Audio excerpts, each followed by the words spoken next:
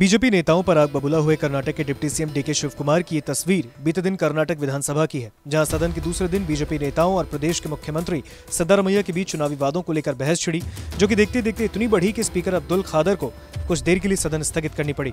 दरअसल बीजेपी विधायक सदन में कांग्रेस सरकार के खिलाफ प्रदर्शन कर रहे थे। बीजेपी का आरोप था कि कांग्रेस सरकार अन्न भाग्य योजना को समय से लागू नहीं कर पाई।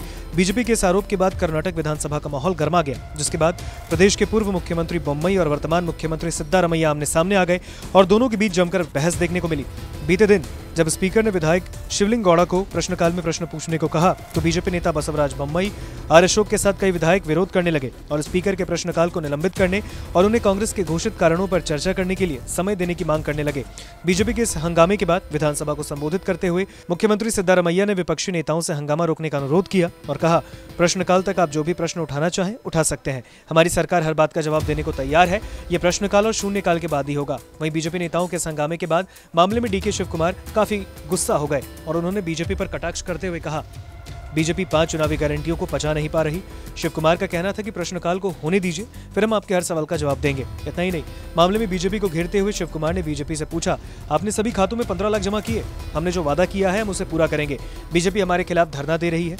जबकि उन्हें पहले मोदी जी और केंद्र के खिलाफ धरना करना चाहिए क्योंकि उन्होंने एफसीआई को चावल देने से रोका है लेकिन हमारी योजना का प्रचार प्रसार करने के लिए मैं उनका आभारी हूँ I am very happy that they are raising this issue. At least they are trying propagate our programs. I wish them all the best.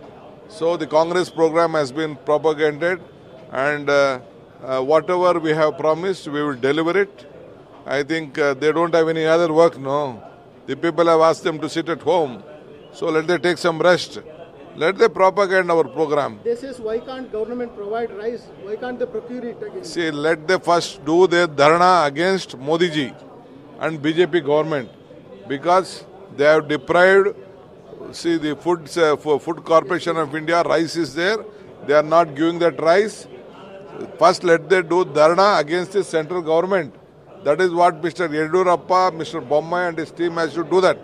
Instead of that, they are just anyway. I am thankful for them for propagating our.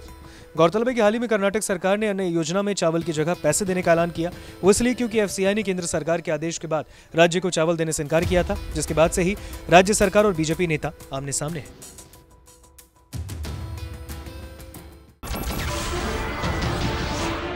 नमस्कार मैं हूँ मानक गुप्ता अगर आपको हमारा ये video पसंद आया हो तो इसे लाइक और शेयर ज़रूर करें और हाँ हमें सब्सक्राइब और फॉलो करना ना भूलें, ताकि आप देश और दुनिया की कोई खबर मिस ना करें। तो जुड़े रहिए हमारे साथ और देखते रहिए न्यूज़ 24